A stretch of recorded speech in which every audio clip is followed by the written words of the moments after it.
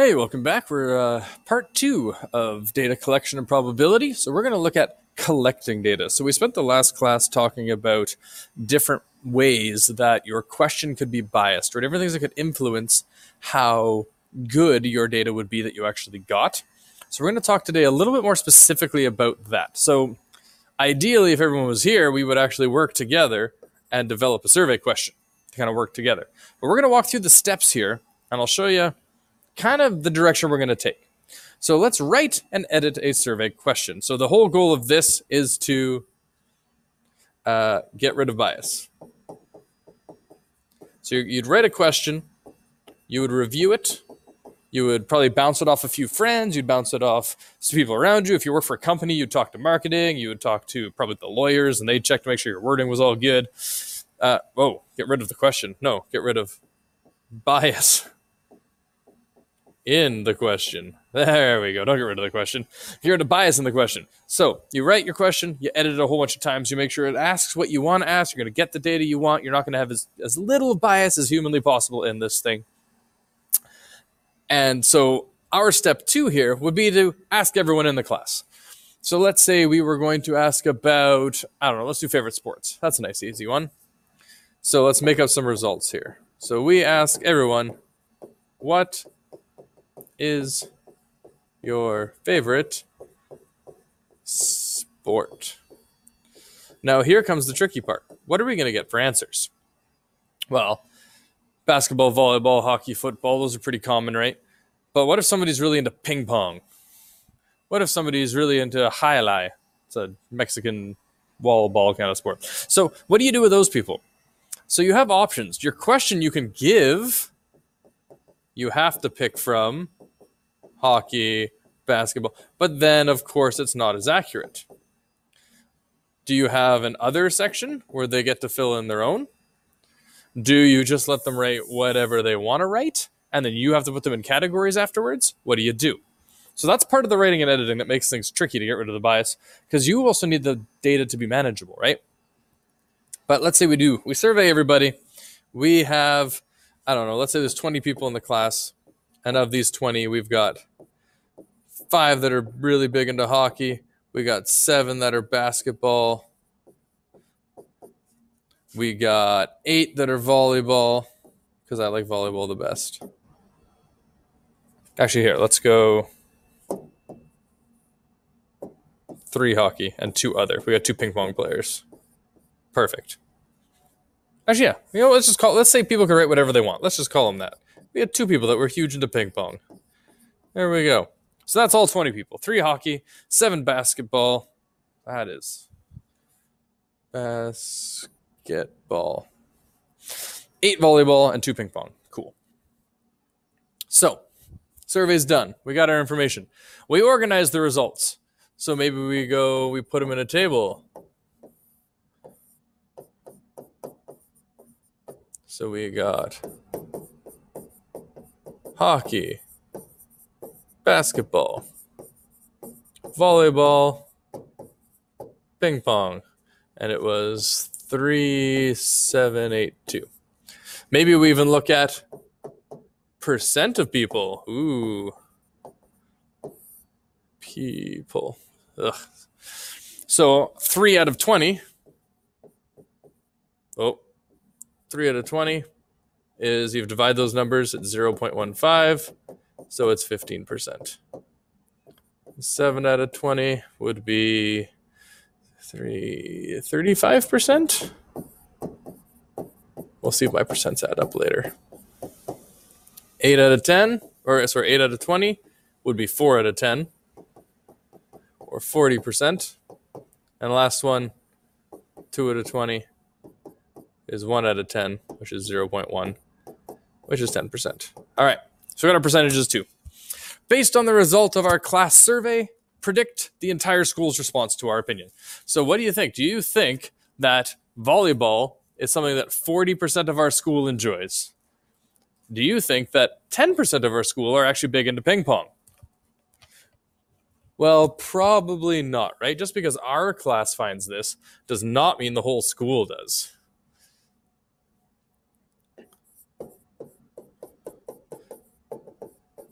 So we don't think likely the school would match. Maybe we have way more ping pong fans. We got two guys that are crazy into ping pong here, and they might be the only ones in the whole school, right? Probably, I would say from our results, I would think ping pong is likely too high.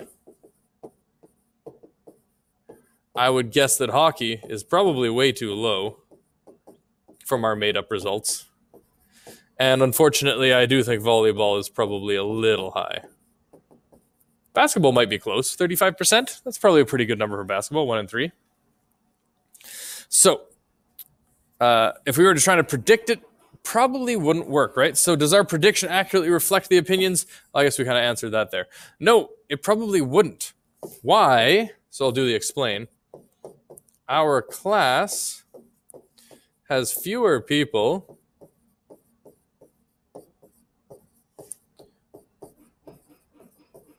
which means one or two people with a specific interest. For example, in our case, uh, ping pong.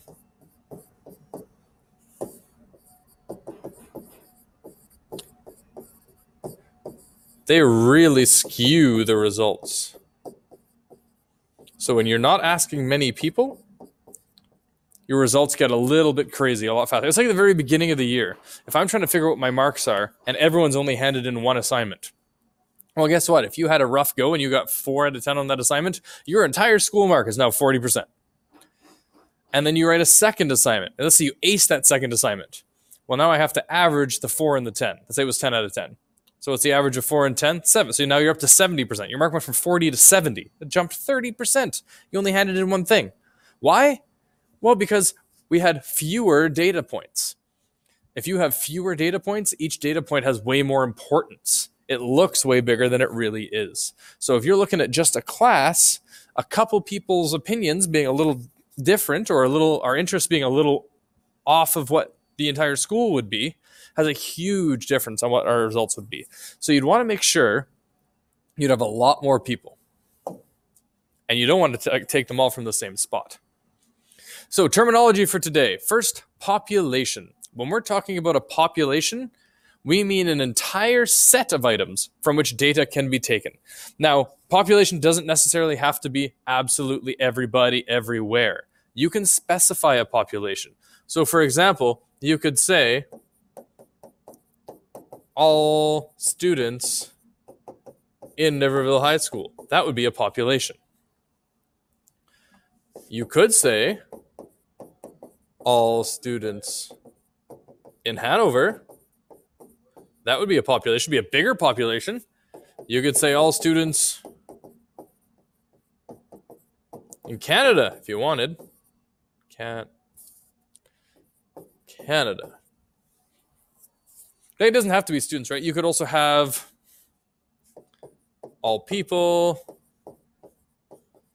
in Niverville. I want the population of Niverville. So if I have a question that is Niverville centric, so what do we name the new high school, for example?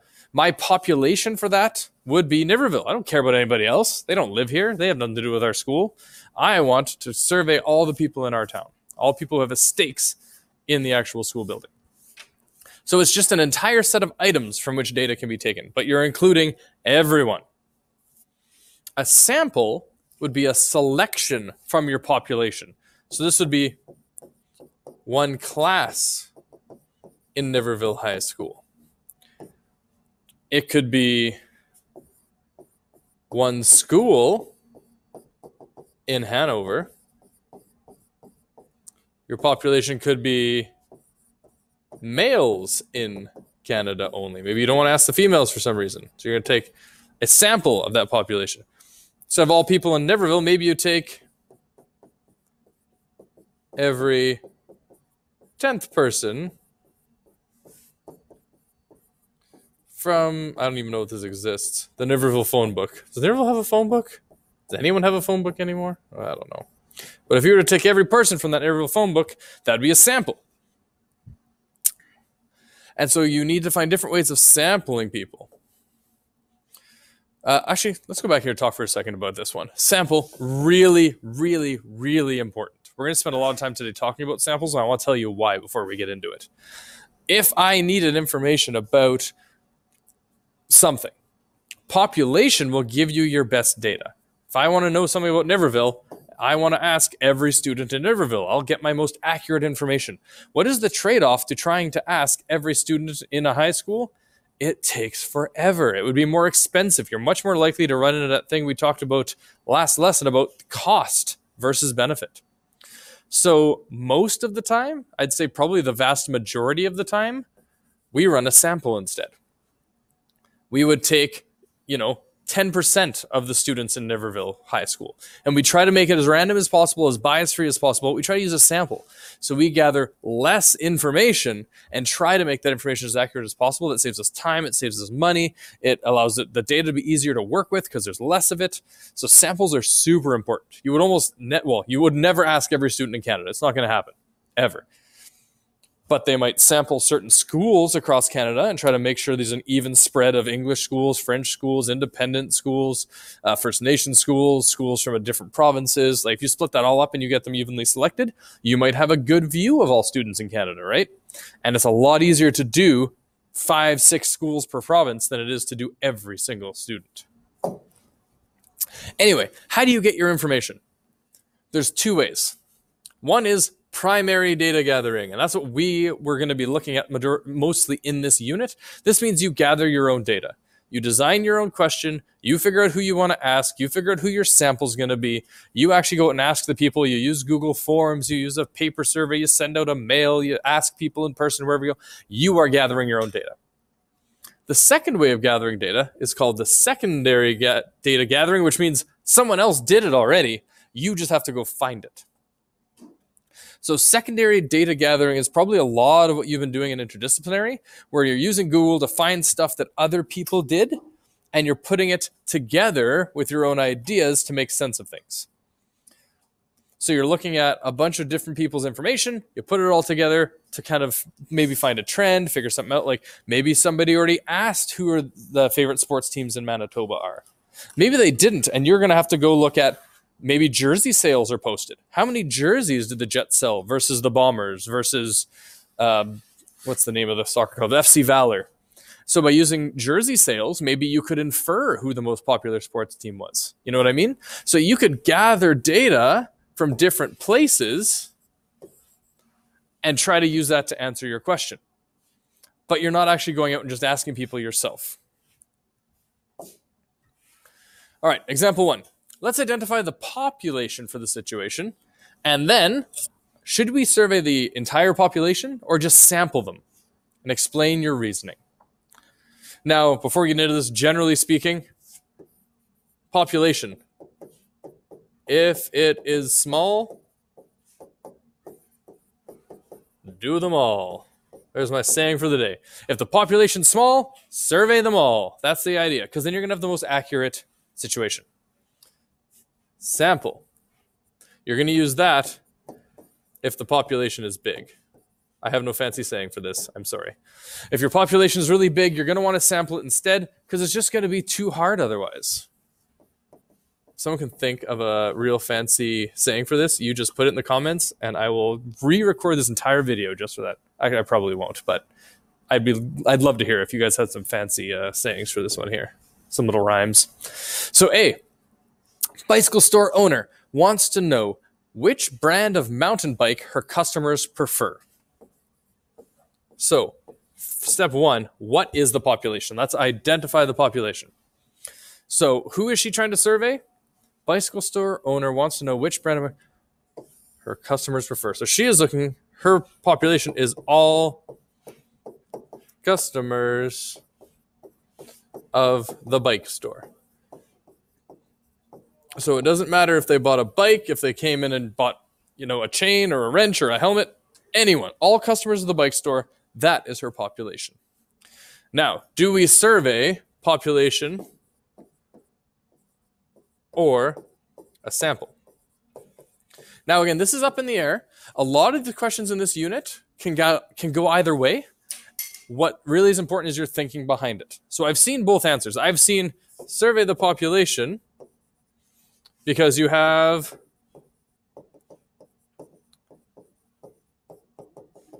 information on everyone from receipts. So you should be able to get in contact with them quite easily. And there aren't many people. So in that case, yeah, survey the population. That makes a lot of sense, right? We got information on everybody. Anyone who's made a purchase, we have a receipt. Probably from that, we can get phone numbers or information on them. Should be able to get in contact with all these people. And there aren't that many of them. It's just whoever came in and bought. It's not like we're Walmart with 1,000 people a day coming through. It's a little bike store. Some people say, no, no, no, we need to do a sample here.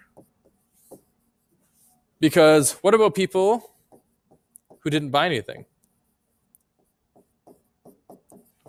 We don't have any information on them. They came into our store and then they left. Doesn't mean they didn't want to buy anything. Maybe we didn't have the brand they wanted. And this question would be super important for them. What brand do they prefer? We could have had a sale if we knew that. How else did we get the information on the entire population?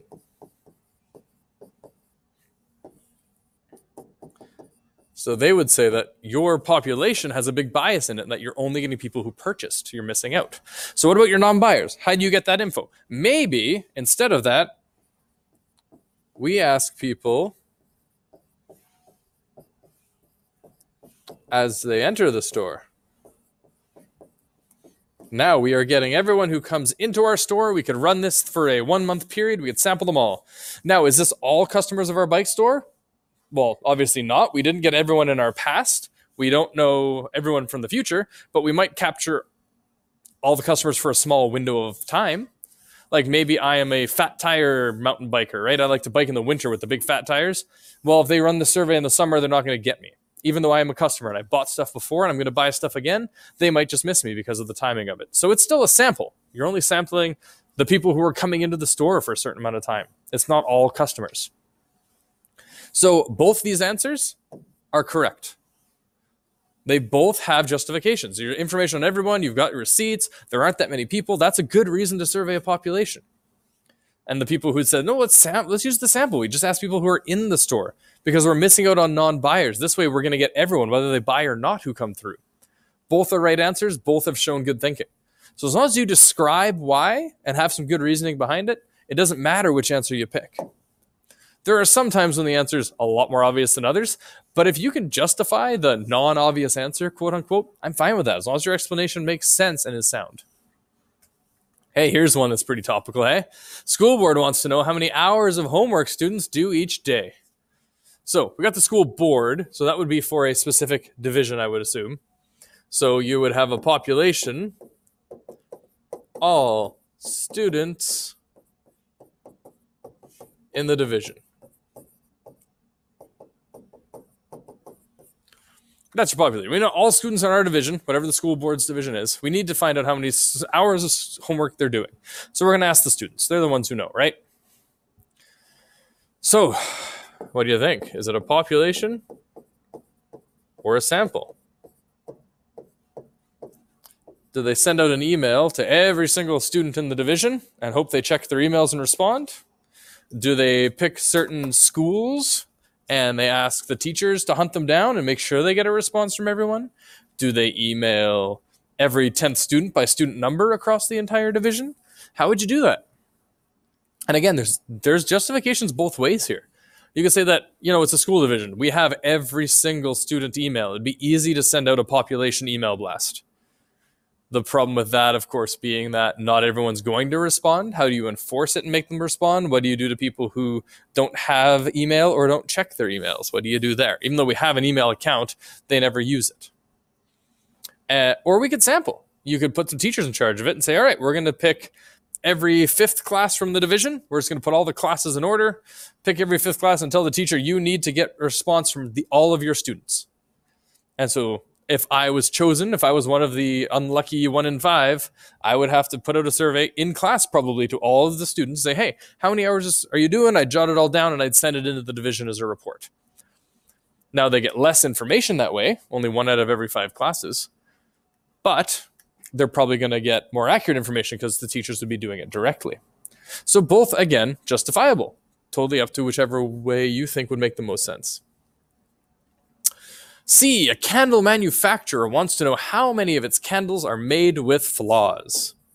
So your population, all candles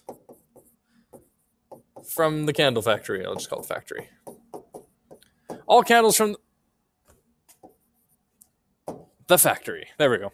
So, candle guy, manufacturer, they got a factory, is pumping out candles. How many of these candles are busted? How many have flaws? How many aren't coming out quite right? So, here's one that has a pretty obvious answer. In order to check if a candle has a flaw, what would you have to do? Well, you'd have to open the box with all the candles in it. You'd have to root through every single candle. You'd have to open them all and take a look at them and inspect them by hand, which means you'd then have to rewrap them all. Do you really want to package up all of your candles, then unpackage all of your candles, then repackage all of your candles so you could send them out? No, not a chance. So this one I'm going to say is pretty obvious that you want to sample this. Take I don't know how many candles you make in a day at a candle factory, but let's say we take every 100th candle and inspect it. And we do this for months. We just, no, you know what? Do this forever. Let's make this part of our manufacturing process. Every 100th candle, pull it off and take a look. And let's say on average that 2.3 candles. So this is over a long period of time. On average, 2.3 candles. So sometimes it's two, sometimes it's three. Out of 100 are broken.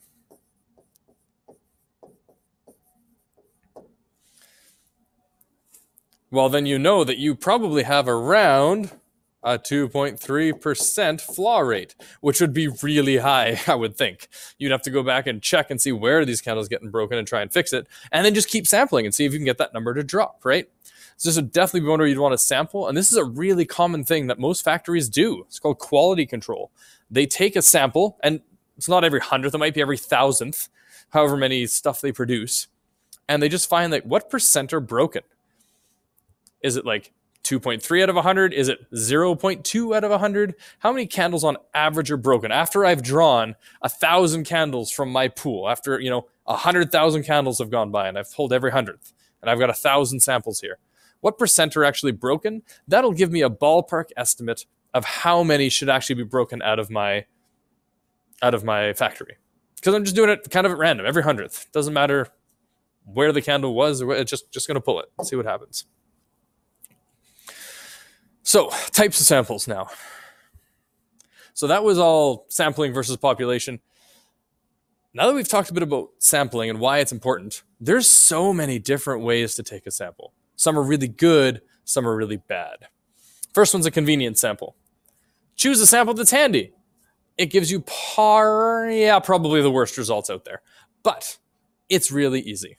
So, for example, ask your friends. They're right beside you, right? They're sitting in class with you. Just ask them what, you know, what their favorite food is. That's what we'll put on the lunch menu for the entire division. Just ask your friends. Less reliable because your friends are likely have common interests. They will likely be more similar to you because you guys are already friends. Um, there's going to be a ton of bias there, but it's really easy to do that kind of sample. Second is a random sample. So you select items at random from a population. Now you could do this with a computer program. Uh, you could do it by drawing names out of a hat. Hat draw. So every item has an equal chance of being selected. So, oh, well, those are my examples right there. Yoink. So, like, for you see a lot of times the teacher's like, hey, we are going to make groups. I just hit the random button on my computer and it puts, just randomly draws things. That's just kind of the way it works. So that would be random sampling. So if I had a question, I could just hit random button. I could put everyone's name in a hat. I could pull it out. Everyone has a random chance of being selected. Now, downside to this one. Now, it's not as obviously biased as this one is. The downside to this is you don't know the bias ahead of time.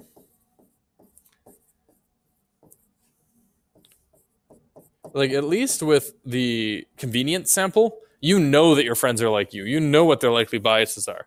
With a random sample, I don't know ahead of time. Let's say I pick five names at random from our class. I could get all girls. I could get all boys. I could get all people who are on the hockey team.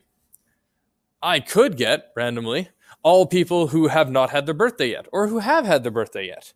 You see what I'm saying? There's some bias that could happen. It's less likely, but there could be some bias there, and I'll have no idea what it is because I'm not planning for it. I might not even know those five people are all on the hockey team, right? So you got to be a little careful with random samples. If you have a really big random sample, it's usually good. The large randomness tends to weed out what's going on. Uh, it would weed out the chance of drawing all five people from the hockey team, but that's always the thing is you have no idea what your selection actually is because it's been random. Stratified is a way to fix this. You divide your population into groups and you select items at random from the groups. So I need a school survey. So what I do is I break the school into grades. I got grade 12, grade 11, grade 10, grade 9. I've now stratified them. So I'm going to make sure I get an even selection by grade. My ages will be even and then I'm going to take, you know, 25% of my grade 12s, 25% of my grade 11s, 25% of my grade 9s, 25% of my grade 10s. That way I get a 25% sample of the whole school. So let's say there was a hundred, if there was a hundred in each grade, I'd get 25 kids in 12, 25 kids in 11, 25 kids in 10, 20, 20. So I'd have 100 out of 400 students. I'd get a quarter of the school. But I know this 25% is going to be selected randomly but I know that I've got an even breakdown of age because I stratified by age. Does that makes that should probably make sense, I think, right? You break it down into certain categories that guarantees it's less like if I were to do a true random sample, I could theoretically pull 100 grade 9s out of the 400 students. Randomly selecting people and all of them happen to be grade 9s. I wouldn't know that bias was happening, but it would be huge stratified forces it to not be random. Now I could still get all girls. It could still happen that way, but I've already stratified out one of the random things, right? So it helps make it a little bit better when you stratify. It's actually a lot better. Uh, systematic, you just choose individuals at fixed intervals from an ordered list of the whole population. So I take the phone book, they're ordered by alphabetically by name, and I take every 10th person. That's systematic. I can look at your student numbers, put the whole school in by student number, and then take every 20th. Why not? I want less people. So you just rip down the student number list, every 20th number, that's who I'm going to survey. I don't care what grade they're in, what age, what male, female, and it doesn't matter. I just every 20th student, and uh, the reason this kind of works nicely is because it's an ordered list. Depending on how the list is ordered, it kind of stratifies as well. So, for example, if student numbers are assigned when you enroll, those numbers should get higher and higher as you are younger and younger, which means if you put them in order by student number, you're going to be breaking it down by age, basically. And by taking every 20th, you're guaranteed an even split of ages across the entire school, at least for grade 11, 12, 10, 9. 12, 11, 10, 9. Yeah. Phone book, alphabetical doesn't really do much for you stratification ways unless you really care about only asking people with certain last names or something like that. That'd be weird.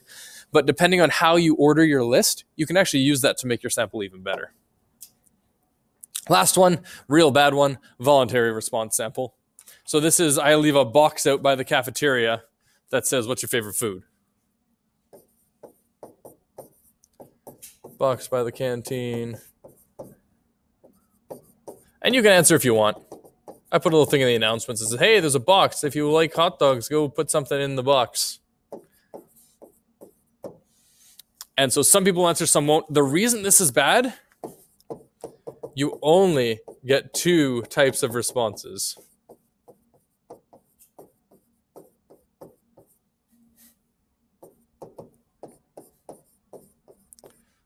You get those who really really love something and you get those who really, really hate something.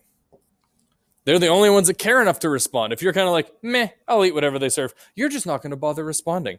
But if you're like, oh man, I cannot live if I do not eat pizza pops three times a week, they are the greatest food ever invented, and I need these in my belly now, you will write a response because you are addicted to pizza pops apparently, and you might want to get that checked out. On the flip side, if you were like, I cannot stand broccoli, if I have to eat broccoli, I will retch. If broccoli is even served in this school, I will throw a hissy fit. You would likely go and write a response and be like, make whatever you want, just don't put broccoli in the food.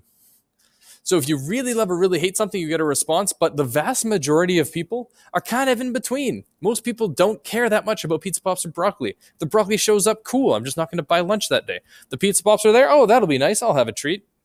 But most people aren't that passionate about it. So you only get kind of your extremist responses if you do a voluntary response sample. So, example two here. For each situation, describe how the sample could be selected, identify the type of sample. And again, there are so many correct answers for this. And incorrect. Doesn't say you have to pick a good sample. You can pick any of those above. You can say voluntary response for this. I'm just going to go ask my buddies. That would be correct. That is, as long as you've identified the type of sample and explained how you would do it.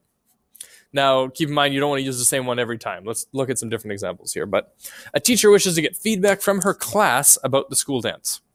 She wants to survey five students out of a class of 30. Cool. So, as a teacher, wasn't my job. I should be able to figure this one out. How do I survey five kids out of a class of 30?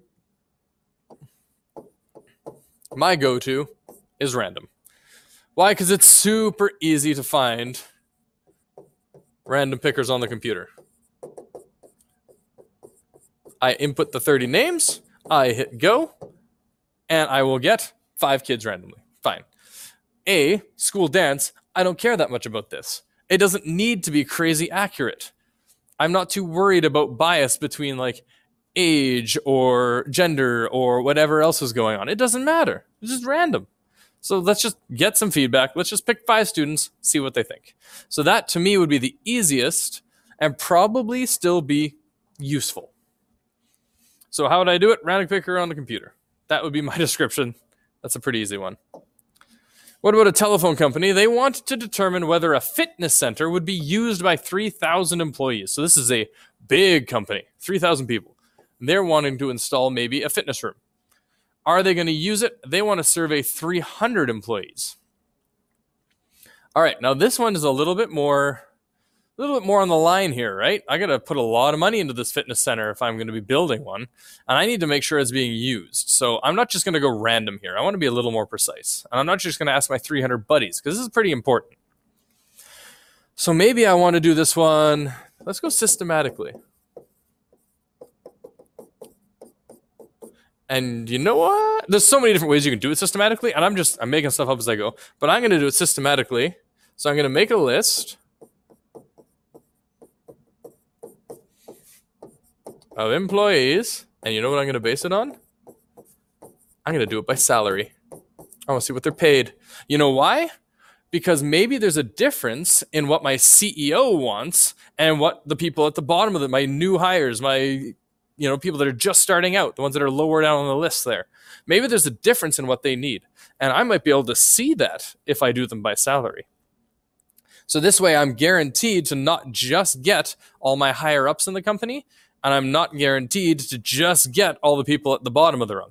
Now, if I have a lot of people that are not making very much money, they're going to show up more often. And so maybe that's something I want to kind of take account of. So I'll make a list of employees by salary and take every, oh, take every what?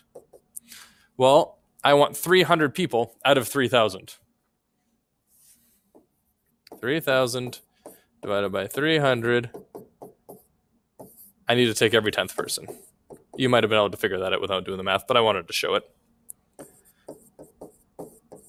So if I take every 10th person down my list of employees by salary, I will have a systematic sample that should give me a good look of everyone in the company across kind of what they earn. A chain store, that's Walmart or something like that, right? They got a bunch of stores. They're trying whether to open a store in Camrose, Alberta. The company wants to survey people in Camrose, obviously, and three nearby towns. So let's say you were going to open a, big, I don't know, what would be a good big, an IKEA. We're going to open IKEA here in Niverville. Well, obviously, we're going to pull people in that are not just from Niverville, right? So we would ask around like Grunthal and Steinbach and Lorette and Deschênes and Blumenort, Rosen, all those areas around here. We would ask all the towns in the area. So that's what they're doing. They're going to ask Camrose and the nearby towns. Now, the population of each town is shown before how do we sample these guys? Now, this is a bit trickier because, like, look at the population differences, right? If I take like a random sample, I'm only going to get people from here. Statistically speaking, the odds of me getting someone else are pretty slim, right? I'll probably just get people from Camrose, which eliminates the whole point of the survey. So, you know what I should do? I know what I should do. I should do a stratified sample. So I'm going to break it down by town. I'm going to take Camrose and Bashaw and Tofield. Yeah. And Daysland. That sounds nice. I live in Daysland. And I'm going to take 10% of each of each town, roughly. Which means I'm going to ask 1,600 people from Camrose, which makes sense. They should have a lot of people. They're the biggest town. I'm going to ask 82 and a half, so I'll call it 83. 80 people from Bashaw. I'll ask 188 from Tofield, and I'll ask 88 from Daysland. Now, each town is equally represented population wise. They don't have the same number of people, nor should they. Camrose is a way higher population. But now each of them are getting 10% of their population chosen. So I'd go randomly, or maybe I'd even use these numbers and figure out a way to do it systematically.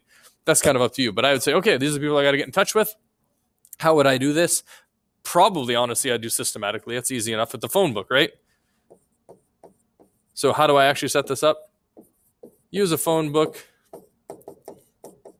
systematically. So, you'd figure out how many numbers to skip. You'd go through the names and the numbers and make sure you get that number of people as you go through.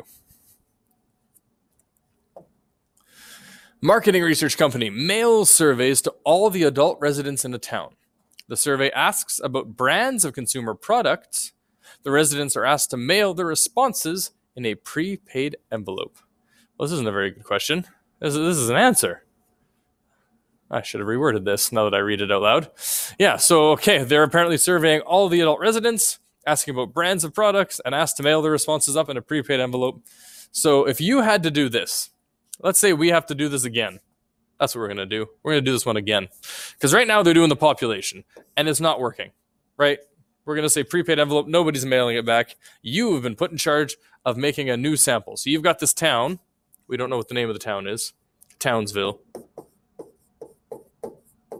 So we got Townsville, and you have to sample the residents. We've tried mail bombing them, it didn't work out. How would you sample the residents? Now, this one, you have very little information about it other than it's about brands of consumer products. So, I mean, this one's up to you. You could do random, you could do stratified, you could stratify it by neighborhood, you could do systematic, go down through the phone book again. What would probably be easiest? In my mind, probably systematic with the phone book because you've already got it with uh, you've already got a list of everyone in town in that phone book. And so you could just go down and maybe call them and ask what they wanted depending on what the value of this is. But uh, i mean that's up to you. There's a lot of different ways you could justify how you wanted to run this uh, survey. Restaurant owner wants to know the favorite pizza topping of his customers. Pineapple obviously. He plans to survey every customer who orders a pizza in his restaurant between 5 p.m and 10 p.m. one evening. So what's okay? I think we veered off. I think we're back into bias now, aren't we? Describe how the sample could be selected. Oh, yeah. So we've got the population again. So he wants to survey every customer, but is there a way that we could do a sample instead of every customer? Is there any way we could sample this? So right now he's saying he wants to talk to every customer who orders a pizza. How would you actually run this? Would it be on you know on the receipt? Fill out the survey and you can win a win a free drink next time you come in. Would it be hey you need to answer this before we give you your bill? Like what are you gonna do right? How would you actually set this up? So I'm gonna leave this one open ended. But the idea is I want you guys to think about in real life how would you actually run this? Don't just be like, oh yeah, I would just tell every customer. How would you do that? That's the important part. Is it on the receipt? And if so, what are the downsides of that? What are the upsides of that? Again, these don't have to work, but I need to know you've thought about it. So on the receipt, upside, everyone gets one. You have asked everyone in the restaurant. Downside, who actually answers those things? If it's on the receipt, how many people actually fill it out for the free drink? Also, it's going to cost you money. It's going to cost you a free drink if they're going to answer it. If that's what you're doing. How else could you do it? Well, you could actually like stop people as they come in before they sit down. Positive. Everyone answers, they have to or they're not allowed in. What's the downside to that? Well, you might lose some business as people like don't want to give you answers, right? Or back to the right to respond, you might have bad answers because they're being forced to respond before they're allowed to have their pizza. So as long as you can figure out how am I going to set this up, what are the pros and cons of this doing it this way, you're probably good to go. And that's it. That's all we got for today. So look forward to an announcement probably posting early next week or uh, in the time to come here. And again, if you can think of a good rhyme for that one, add it uh, add it in the comments. Thanks, guys.